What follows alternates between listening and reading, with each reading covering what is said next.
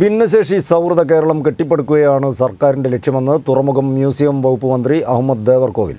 ലോക ഭിന്നശേഷി ദിനാഘോഷത്തോടനുബന്ധിച്ച് കോഴിക്കോട് ജില്ലാ സാമൂഹ്യ നീതി ഓഫീസിന്റെ ആഭിമുഖ്യത്തിൽ സംഘടിപ്പിച്ച ഭിന്നശേഷി കലോത്സവം ഉണർവ് രണ്ടായിരത്തി ഇരുപത്തിരണ്ടിന്റെ ഉദ്ഘാടനം നിർവഹിച്ച് സംസാരിക്കുകയായിരുന്നു മന്ത്രി. ഭിന്നശേഷി സൗഹൃദ കേരളം കെട്ടിപ്പടുക്കുകയാണ് സർക്കാരിന്റെ ലക്ഷ്യമെന്ന് തുറമുഖം മ്യൂസിയം വകുപ്പ് മന്ത്രി അഹമ്മദ് ദേവർകോവിൽ പറഞ്ഞു.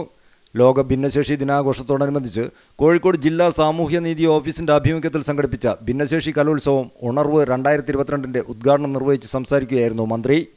എല്ലാ പൗരന്മാർക്കും ഒപ്പം ഭരണഘടന അനുശാസിക്കുന്ന സമത്വം സ്വാതന്ത്ര്യം തുല്യ അവസരം നീതി എന്നിവ ഉറപ്പുവരുത്തുന്നതിന് അംഗപരിമിതർക്കായി ഒട്ടനവധി പദ്ധതികൾ സർക്കാർ നടപ്പിലാക്കുന്നുണ്ടെന്നും ഭിന്നശേഷിയുള്ളവരെ ചേർത്ത് നിർത്താൻ നമുക്ക് സാധിക്കണമെന്നും കുടുംബവും സമൂഹവും ഇത്തരം ആളുകളെ ചേർത്ത് നിർത്തുമ്പോൾ വിപ്ലവകരമായ മാറ്റങ്ങൾ സാധ്യമാകുമെന്നും മന്ത്രി കൂട്ടിച്ചേർത്തു.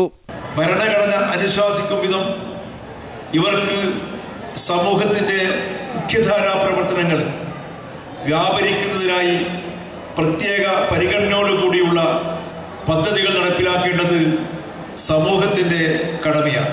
A D M C Muhammad Rafeeq പതാക ഉയർത്തിയതോടെയാണ് പരിപാടികൾ ആരംഭിച്ചത്. കോഴിക്കോട് ടൗൺ ഹാളിൽ നടന്ന ചടങ്ങിൽ ജില്ലാ പഞ്ചായത്ത് പ്രസിഡന്റ് ഷീജ ശശി അധ്യക്ഷയായി.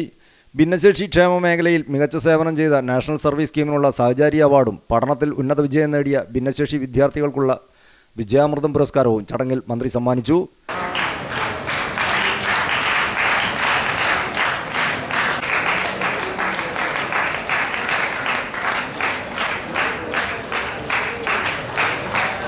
സഹചാരി പദ്ധതി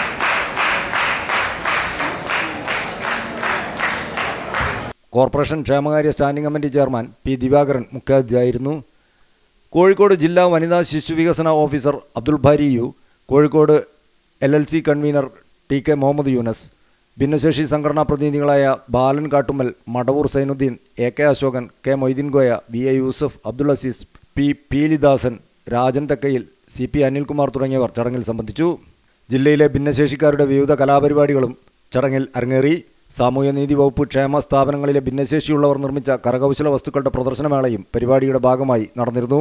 ന്യൂസ് ഡെസ്ക് സി പ്രാദേശിക വാർത്ത.